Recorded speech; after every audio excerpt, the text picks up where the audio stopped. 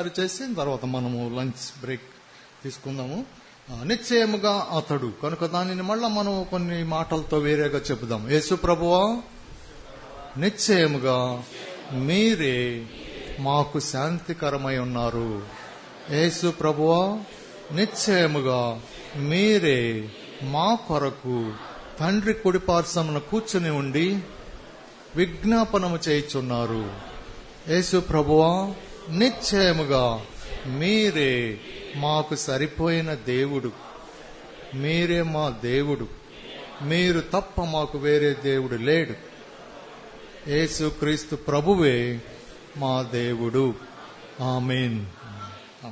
Right. ఇప్పుడు ఇంకొకటి ఇంకొకటి చూద్దాము. ఆ తర్వాత మనము లంచ్ బ్రేక్ తీసుకుందాం. ఎవరైనా సరే ఇస్రాయేలీలలో తప్పు చేస్తే వాళ్ళు ఏం చేయాలి? గొర్రె పిల్లనో మేక పిల్లనో తీసుకురావాలి. అతడు యాజకుడితో చెప్తాడు. యాజకుడు ఏమంటాడు? నువ్వు తప్పు చేసావా సరే తీసుకుని రా బలి అని చెప్తాడు. సరే ఆ బలి ఎట్లా ఉండాలి? నిర్దోషమైనదిగా నిష్కలంకమైనదిగా ఆ యొక్క బలి పశువు ఆ విధముగా ఉండాలి. మచ్చ డాగు లేనిదిగా ఉండాలి.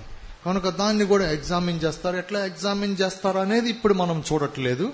సరే తీసుకొని వచ్చారు. నిర్దోషమైనది నిష్కలంకమైనది. దాన్ని తీసుకొని వచ్చారు. ఈ పాపి ఏం చేస్తాడు? అక్కడ నిలబడతాడు యాజకుని దగ్గర. యాజకుడు ఏమంటాడంటే నీ చేతులు చాపు దాని తల మీద నీ పాపాన్ని ఒప్పుకో. కనుక నిర్దోషమైన గొర్రె పిల్ల లేదా మేక పిల్ల అక్కడ నిలబడి ఉంది. ఈ పాపి చేతులు చాపి దాని మీద తన పాపాన్ని ఒప్పుకోగానే పాపి నిర్దోషి అయినాడు. నిర్దోషి అయిన గొర్రె పిల్ల దోషి అయినది. కనుక పాపమునకు వచ్చు జీతము మరణము. కనుక ఇప్పుడు ఈ గొర్రె పిల్ల చనిపోవలసి ఉన్నది. కనుక అదే విధముగా యేసు ప్రభువు కూడా మనందరి దోషము తీసుకొని నిర్దోషి అయిన ఆయన ఆయన పాపి అయినాడు పాపమైనాడు. మనము నిర్దోషులముగా తీర్చబడు నిమిత్తము ఆయన మన కొరకు సిలువలో ప్రాణం పెట్టినాడు. నిశ్చయముగా అతడు ఈ పని చేస్తున్నాడు. అంతేగాని మీ తండ్రి కాదు నా తండ్రి కాదు. మీ పాస్టర్ గారు కాదు మా పాస్టర్ గారు కాదు. మీ సంఘం కాదు మా సంఘం కాదు. ఎవరు చేశారు? నిశ్చయముగా అతడు యేసు ప్రభు. కనుక ఆయన నిర్దోషి అయిన ఆయన నిర్దోషి ఆయన ఆయనలో ఏ పాపము లేదు. ఆయన పాపిక అయినాడు. దోషులం మనమందరము ఆయనను అడిగిన ఎడల ఆయన మనల్ని క్షమించినాడు.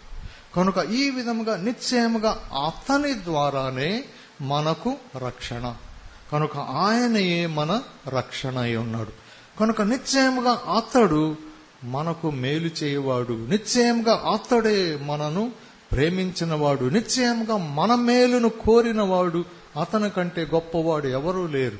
నిశ్చయంగా అతడు చేసిన యాగమే బలియాగమే కోరదగినది. నిశ్చయంగా అతడు చేసిన బలియే నమ్మకమైనది అది న్యాయ చట్టమైనది న్యాయసమ్మతమైనది పట్టుగలిగినది పాపికి ఆశ్రయం ఇచ్చినది పాపిని నిర్దోషిగా తీర్చున్నది కనుక నిశ్చయముగా అతడు బలి పశువైనాడు. నిశ్చయముగా అతడే యాచకుడై ఆ బలి పశువును కూడా చంపింది కూడా ఆయనయే. కనుక ఆయనయే బలి పశువు. ఆయనయే యాజకుడిగా ఆ బలి పశువును మన కొరకు బలి ఇచ్చినాడు. ఆ బలి పశువు ఆయన కాకుండా వేరే ఎవరైనా కుదరదు? ఆ బలి పశువును వధించేది ఆయన కాకుండా వేరే ఎవరైనా కూడా కుదరదు. కనుక ఈ రెండిట్లో కూడా ఆయనే నిమగ్నమై ఉన్నాడు. కనుక నిశ్చయముగా అతడు మన పాపముల నిమిత్తము పాప పరిహారార్థ బలిగా తన ప్రాణమును దారపోసెను కనుక ఈ బలిని ఎవరైతే అంగీకరిస్తారో వారి పాపం ఎంత పెద్దదైనా సరే ఈ బలిని అంగీకరిస్తే వారి పాపం పోవటానికి వేరే బలి అక్కరలేదు. ఈ బలిని అంగీకరించకపోతే వారి పాపం ఎంత చిన్నదైనా సరే వారు ఏ మతములో ఉన్నా ఏ గుంపులో ఉన్నా వారి పాపం ఎంత చిన్నదైనా సరే ఏ దేశంలో ఉన్నా సరే వారి పాపం ఎంత చిన్నదైనా సరే వారి పాపం పోవటానికి వేరే దిక్కు లేదు. కనుక నిశ్చయముగా అతడు డివైడ్ చేస్తున్నాడు. కోరుకో. కనుక జ్ఞానము కలిగిన రికమెండేషన్ ఏమంటే మనం కోరుకున్నాం కరెక్టే కానీ ఇతరులకు మనం దీనిని స్పష్టముగా తెలియపరచవలెను. మన ప్రవర్తన ద్వారా మాటల ద్వారా తర్వాత మన ప్రవర్తన ద్వారా దీనిని తెలియపరచవలసి ఉన్నది.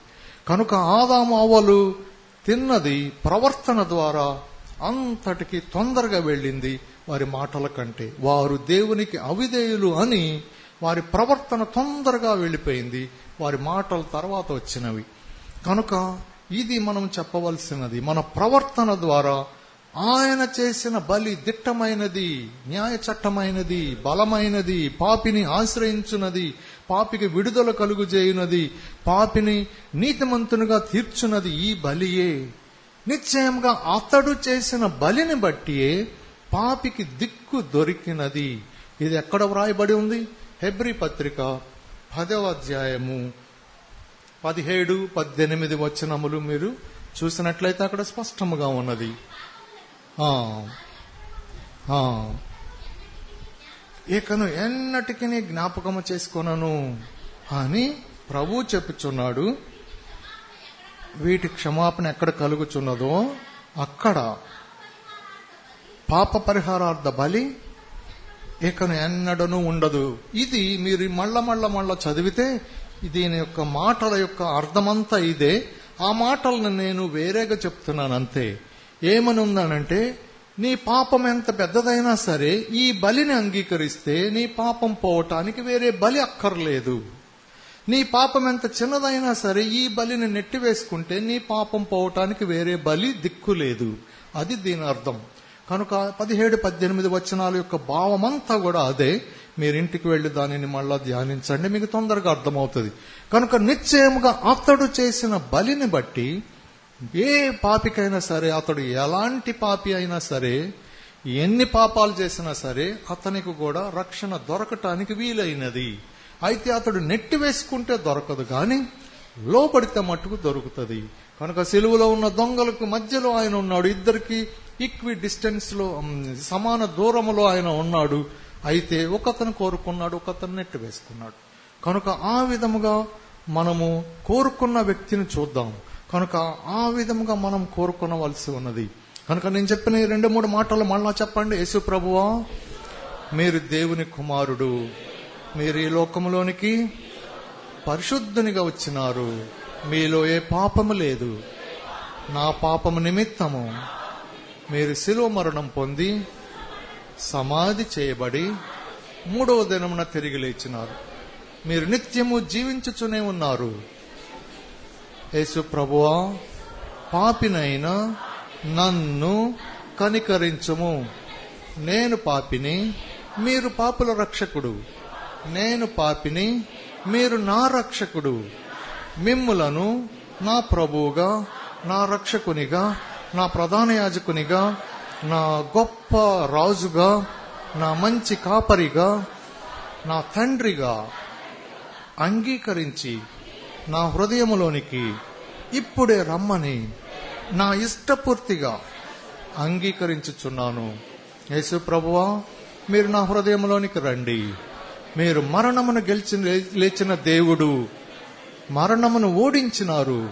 సాతానును ఓడించినారు. అపవాది క్రియలన్నిటినీ లయపరిచినారు. మీకే స్థుతులు ప్రభువా. మీరు నా హృదయంలోనికి వచ్చినారు. మీకు నా వందనములు. నా పేరుని జీవ గ్రంథంలో వ్రాసుకోనండి. వ్రాసుకున్నందుకు వందనములు. నా దినములు భూమి మీద ముగించిన తర్వాత నన్ను పరలోకములోనికి తీసుకుని వెళ్ళండి. తీసుకుని వెళ్తారు. అందుకు మీకు నా వందనములు. నిశ్చయముగా మీరే నా దేవుడు. యేసు ప్రభువా మీకు నా వందనములు. యేసు ప్రభువా మీకు నా వందనములు. ఆమీన్. కనుక ఇప్పుడు మీరు చూడండి ఆయన లోకాన్ని డివైడ్ చేస్తున్నాడు. ఆయన వచ్చిన తర్వాత లోకము రెండుగా మారినది ఎట్లా? క్రీస్తుకు పూర్వము క్రీస్తు తర్వాత. ఇప్పుడు రెండు వేల పద్నాలుగు అంటే ఎవరి పేరు అది? యేసుప్రభు పేరు. కనుక ఆయన లోకాన్ని రెండుగా డివైడ్ చేశాడు.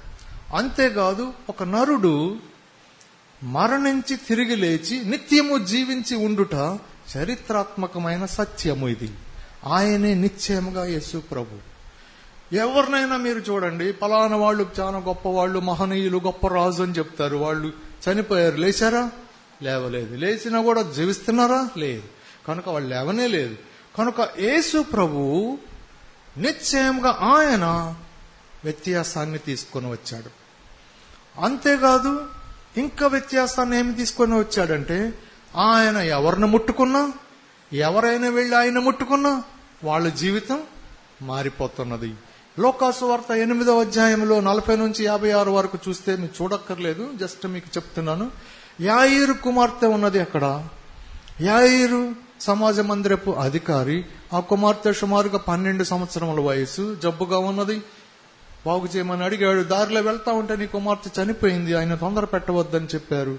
అయితే ఆయన నమ్మిక ఉంచు అని చెప్పి యాయర్ని తీసుకుని వెళ్ళి ఇంటికి వెళ్ళి చిన్నదాన్ని చేయి పట్టుకుని చిన్నదానా? లేము అనగానే ఆమె లేచినది. ఆయన ఎక్కడికి వెళ్తే అక్కడ పరిస్థితి మారిపోయింది. అక్కడ మరణం ఉంది ఏమైంది? జీవమైంది. లాజరు బయటికి రా. ఆయన ఏమన్నాడు? మరణాన్ని జీవముగా మార్చాడు. సరే ఈ మధ్యలో కూడా ఒకటి జరిగింది. ఒక ఆమె పన్నెండు సంవత్సరముల పన్నెండు సంవత్సరములు రక్తస్రావ రోగముతో బాధపడతా ఉంది. ఆమె ఏమనుకుంది? నేను వెళ్ళి ఆయన ముట్టుకుంటాను బాగవుతాను అనుకుంది. వెళ్ళి చెంగు ముట్టుకుంది. ఏమైంది? బాగైంది. ఆమె వెళ్ళి ముట్టుకున్నా ఆయన వెళ్ళి ముట్టుకున్నా ఏం జరిగింది అక్కడ? వ్యత్యాసం జరిగింది. కనుక ఒక పాపి ఆయన దగ్గరికి వచ్చాయా నన్ను కనికరించు. గుడ్డివాడు దావీదు కుమారుడా నన్ను కనికరించు. ఏమైంది? చూపు పొంది ఆయన త్రోవలో ఆయన వెంట వెళ్ళాడు. కనుక కుష్ఠరోగులు ప్రభువా మమ్మల్ని బాగు చేయి.